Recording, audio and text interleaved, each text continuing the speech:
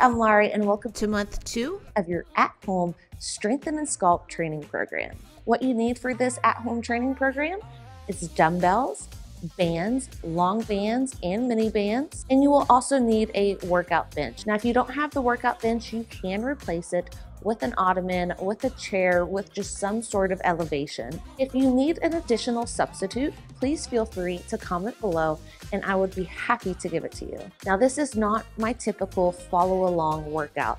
This is a workout for you to do on your own time at your own pace and to progress yourself. During this intro, I'm going to go over how to follow this program. Then after this intro, you will see every single exercise demoed. First thing that you need to do is go into the description of this video. Click on the Google Sheets app link. That will take you to the program. Once you open that program, that program is locked. You're not going to be able to edit it, write down your reps. So what you need to do is just simply make a copy. After you make a copy, it's your own and you're going to be able to record your sets, write down your sets so you can progress weekly and write any additional notes that you need to make for yourself. Be sure to record your weight with the number of reps you achieved every single exercise for every single set. It's very easy to forget what you did the week before, so make sure that you record it so next week you can get even better. Because we are using a progressive overload technique in order to get better, to get stronger, and to achieve your goals. So every single week you can progress either with weights, with reps, with tempo, better form, and or just a better mind muscle connection. There are many different ways to progress yourself. If the previous week you were on the high end of the rep range, I would suggest increasing the weight. If you were on the low end of the rep range, you can either stay with the same amount of weight and try to increase the reps or do a little bit of both. Make it your own and try to get better at every single exercise. We will be following this program for a minimum of four weeks. My goal is to have a new program out for you guys every single month. However, you can definitely follow this program for longer than a month. I typically have clients follow a program anywhere from four to 10 weeks. That's going to depend on the individual and their goals. In this program, we have five training days, three on, one off, two on, one off. Of course, you could rearrange it however you see fit. The order of exercise is listed alphabetically and numerically. So for example, if we have two exercise listed as A1 and A2, we're going to complete A1 and A2 before moving on to B1. If you have any questions about that, please comment below and I would be more than happy to answer them for you. As far as rest periods, they are not monitored, so take as long as you need in order to perform your next best set, unless otherwise specified. The first week, we are getting used to the exercise, so this is our acclimation week. This doesn't mean easy by any means. I still want you to challenge yourself but really concentrate on making great form and great mind muscle connection. Week two, we're gonna try to get a little better, try to bump up the weight. Week three, even better. In week four, best week yet. A little terminology AMRAP means as many reps as possible with good technical form. So there are some sets where we're going to perform as many reps as possible, but once we cannot move the weight and or our form starts to slip, the set is over. We have failed and failing, my friends, is a good thing. That's how we get stronger. Tempo, I do have some tempo listed. The first number is always the eccentric or lengthening phase of the muscle. So I'm gonna take a bicep curl, for example. The eccentric is the lengthening phase as we lower, the muscle gets lengthened.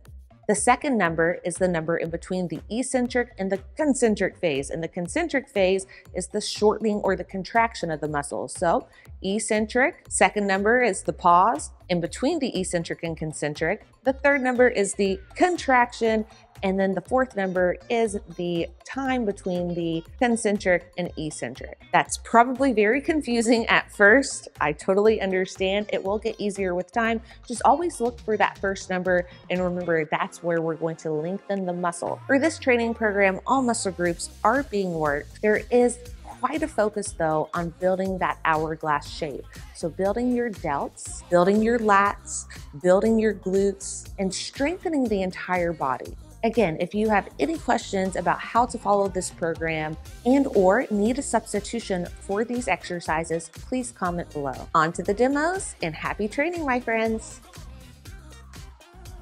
We begin your warm up with banded monster walk. So the band is right above the knees and you're walking forward at an angle. Once you reach your final destination, walk it back. You can travel forward for eight and back for eight, four, back for four. Use what room you have available. A1 is barbell deadlifts. We begin with high repetition, so keep your spine as still as possible while sending the hips back. Go a little conservative on your first set as the reps decrease, increase the weight selection. Feel a big stretch along the hamstrings as you go back, back, back, and then you drive the hips forward to bring it up. Of course, if you do not have a barbell, use dumbbells in place of the barbell. You're using the same muscles, it is the same movement pattern. For B1, start with your weaker side first. So if it's your right side, you're going to drive up with your right glute to bring you up to that full extension and then control it on the way down. You're going to perform B1 and B2 on the same exact side before switching to the other side. For these toe taps, if you have something to hold on to, hold on to it and then hinge the hips back as slow as possible. Think five, four, three, two, one, then drive it up with that standing leg. So you're not using that back leg at all this exercise. These dumbbell sumo squats are a very slow tempo and a very low rep count. So really challenge yourself with the weight selection. Take it down for a count of three, one count pause, and then you're taking it up for a count of three, two, one. Try not to lock out at the top so you're keeping constant tension in the muscles throughout. You'll then take that same exact weight that you use for the sumo squats and use them for these hip thrusts and add a pulse at the top. Now, if you were to exceed 30 reps, please increase the weight so we're not here all day, but really make this hard with the tempo. Feel your glutes, squeeze them at the top, squeeze them again at the top. You will perform D1 and D2 on the same side again before switching to the other side. Brace yourself with the contralateral hand and again think about sending the hips back and then hips forward. Your core stays tight throughout and the tension remains in that standing leg. You should feel this in your glutes and in your hamstrings. When going to D2, You'll use the same weight as D1 at a quarter rep at the bottom. Again, perform D1 and D2 on the same side before switching and matching on the other side. And now we're on to our glute burnout. Band around the quads, Bring the soles of the feet together and then you're pumping it out, squeezing the glutes. This is E1. No rest going into E2. You're going to hold it out, lower abs are engaged, and then you drive the legs out and out. So you're going to feel this in your lower abs. If you bring the head off the ground, you'll feel it in upper as well. Then we end with banded reverse crunches. As we drive the knees in, engaging the lower abdominals, keep tension on the band to really fire up the glutes. After E3, take a full rest before returning to E1. We begin your warm up on day two with DeFranco pull aparts. Use a super band, anchor it underneath your feet, and then pull it apart at eye level.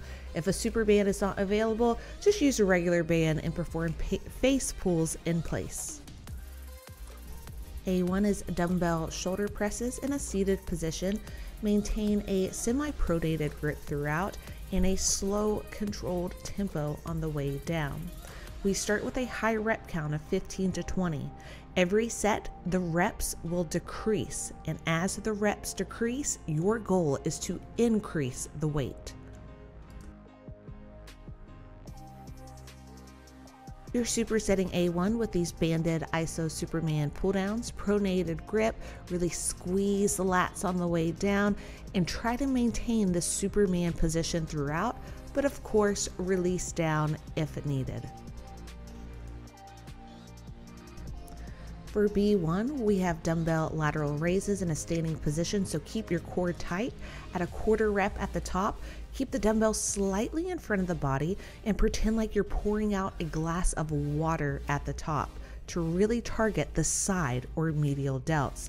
Going into B2, only give yourself 30 seconds of rest and then use the same exact weight for these dumbbell front raises.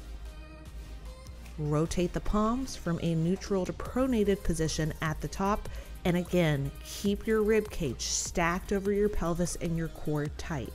We end this tri-set with dumbbell hip hinge reverse flies, same exact weight, and this is an AMRAP set, so as many reps as possible with a supinated grip, targeting your rear delts. Try not to bounce here, it's gonna be really hard, but keep the core tight and keep it a strict movement. C1 is barbell rows. You have a pronated grip and a really controlled tempo. Abs stay tight to help stabilize the spine. So keep the spine as still as possible here to really engage the upper and mid portion of your back. Now, if you do not have a barbell, substitute that same exact movement with dumbbells.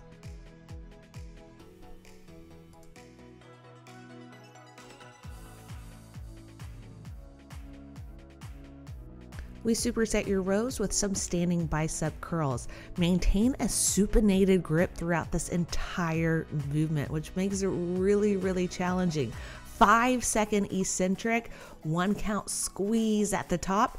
Keep your core tight, keep the rib cage stacked over For the your pelvis. tricep dips, we have our feet elevated to make it more challenging. If this isn't accessible to you, you can begin with your feet on the ground to progress, bring them up like so. To progress even further, place a weight on the lap. D1 is a standing neutral grip shoulder press. Keep the abs super tight. Take it with a very slow, controlled tempo. We only have 10 to 12 reps here. This is really going to target the front of the delts.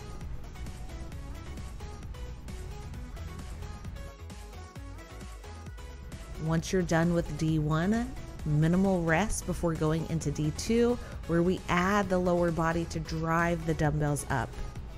Take this to about one rep left in the take. So not we're not failing out, but we have maybe one rep left before we have to call it a we day. We end day two with a tri and bi superset. Have your band anchored right above the head to really get that full extension of the elbow.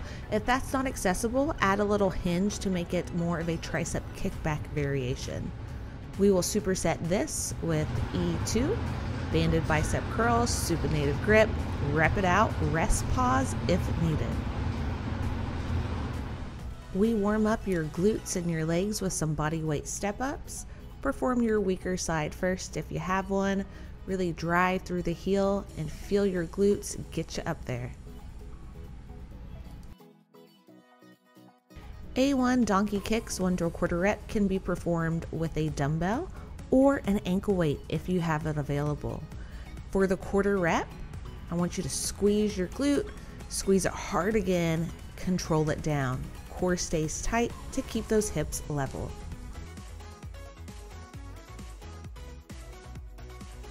If you have a bench available, please do your hamstring curls on the bench because it will increase the range of motion and difficulty.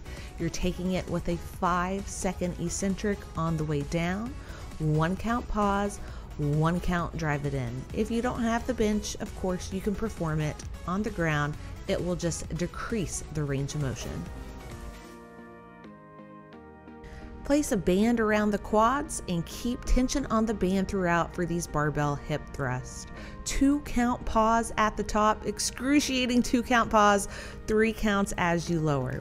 Reps decrease on each set, and as the reps decrease, increase the weight. Load up the barbell, sub with dumbbells if needed. B1 with some dumbbell static lunges slight hinge forward to bias the glutes a little bit more. Perform these reverse hypers on a bench to increase the range of motion.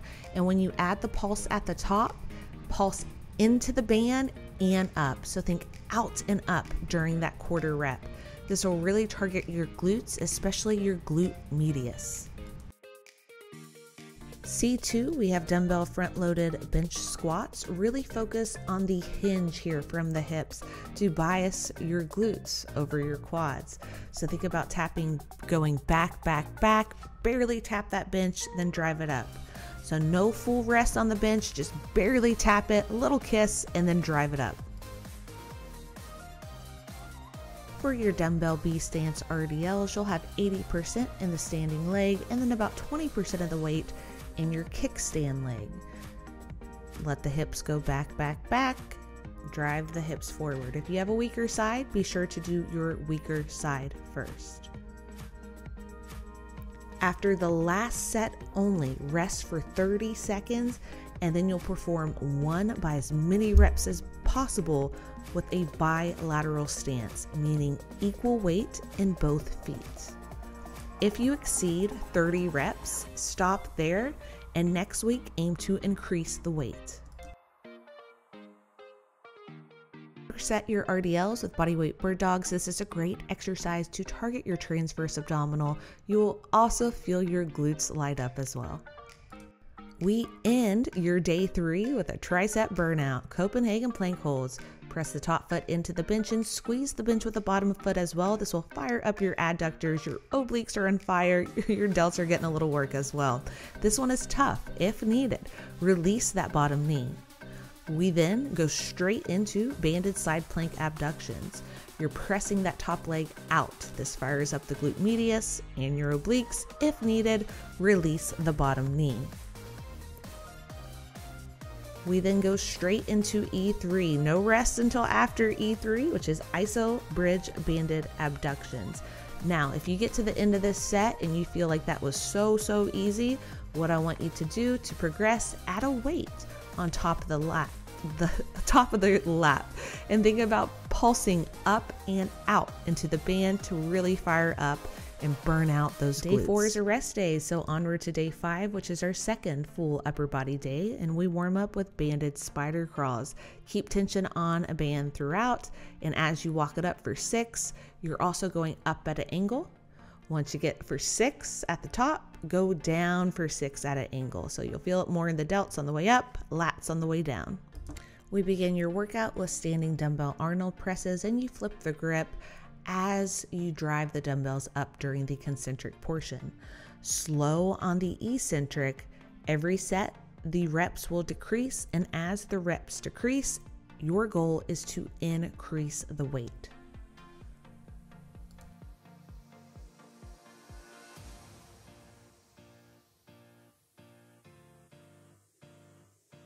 Keep your core tight and do not let the hips rotate open during the pause at the top, I want you to add a pulse. So I want you to think about squeezing your lats, squeezing your lats again, controlling it on the way down. We superset your row with some curls. Add a band for a little bit more spice. So you add a band around the wrists, maintain a neutral grip, keep tension on that band throughout, and we're getting delts and we're getting biceps. For your barbell chest press, have about a little wider than shoulder width grip, 5 second eccentric on the way down as you take it towards the chest and drive it up. If you don't have a barbell, replace the same exact exercise with dumbbells.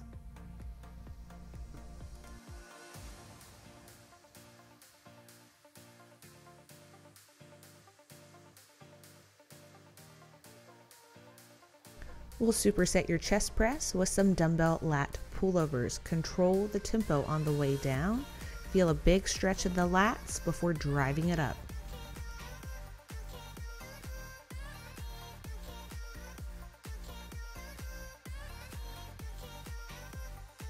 These dumbbell seated four way raises will target the medial and anterior portion of the delts. Four part movement. That was one, two, three, four.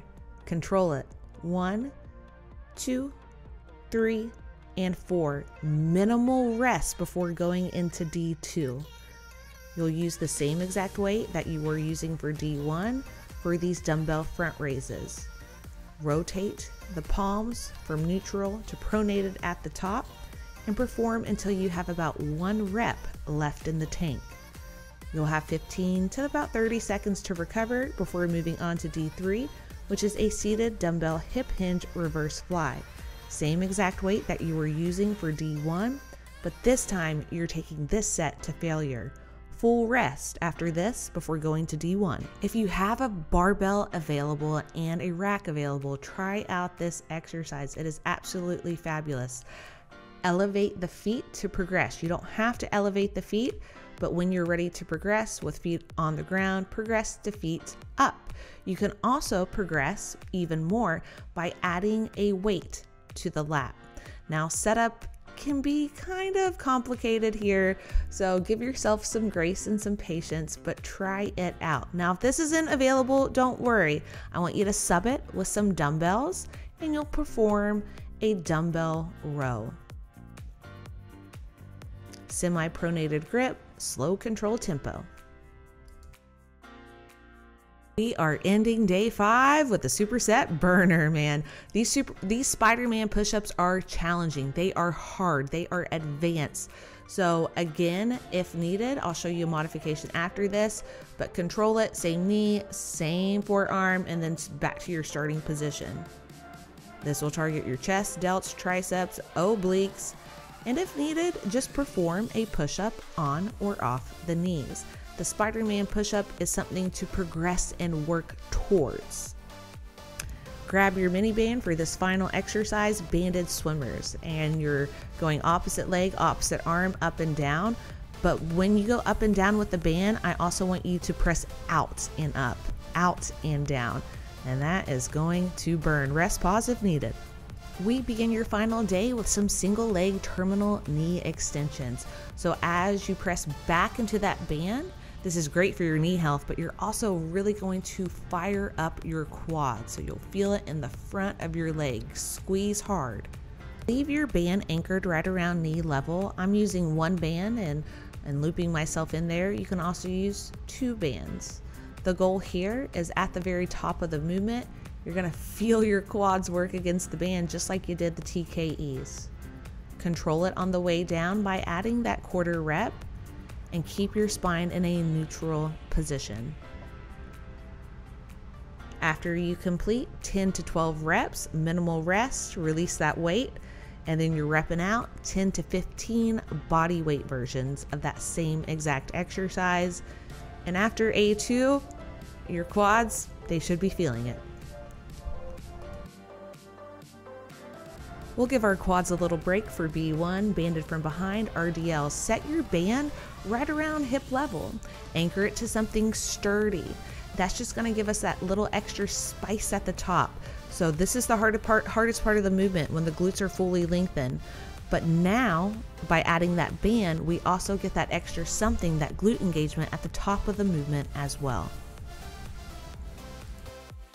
C1 is humbling. Start with a band. You kneel back. You're going to feel this in your quads. When you can go back no more, or if you find that you start to have to hinge from the hips, that's your in range motion. Use the band to assist up. So take it back really, really, really slow.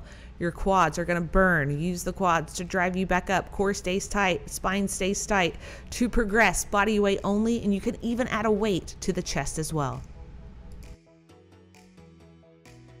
You will then go into dumbbell Bulgarian split squats. Keep the upper body more upright to make this more of a quad focused exercise.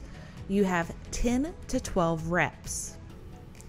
After those 10 to 12 reps, you will then release the weight and then the front heel will lift off of the ground. You'll feel it in your calf on the front leg, and then you're going to start to pulse down. Do this for as long as possible, have a clock available, and then you're going to match it on the other side. Take a seat, elevate your feet to get an extra stretch in the calf for these dumbbell seated calf raises. Super slow tempo. We have the elevation to increase the stretch on the way down, which will increase the contraction and the engagement on the way up. After 12 to 15 reps, go to body weight only, maintain the elevation, and rep it out for as many reps as possible.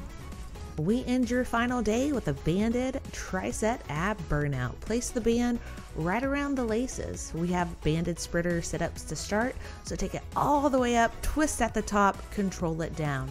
You will feel this in your abs. This is also a great hip flexor strengthening exercise as well no rest before going straight into E2. We drop it straight into these banded bicycles. So this one is going to burn. If needed, you have 15 reps each side on the bicycles. You can rest pause as needed.